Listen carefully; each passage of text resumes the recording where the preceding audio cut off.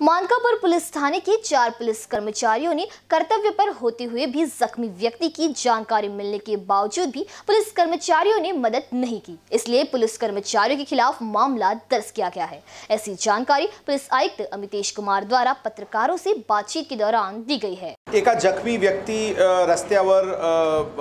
एका ग्राउंडमध्ये पडल्याचे दिसून आला होता. त्याचेबद्दल माहिती पोलिसांपर्यंत ते जे लोक आहेत त्यांच्यापर्यंत पोहोचला होता. परंतु ते त्याचवेळी त्याच वेळी इमिजिएटली जे त्यांना रिस्पॉन्स द्यायला पाहिजे होता तशा प्रकारची कारवाई पोलीसकडून झालेली नाही. म्हणून चार लोकांवर रिस्पॉन्सिबिलिटी फिक्स करून निलंबित करण्यात आलेली आहे.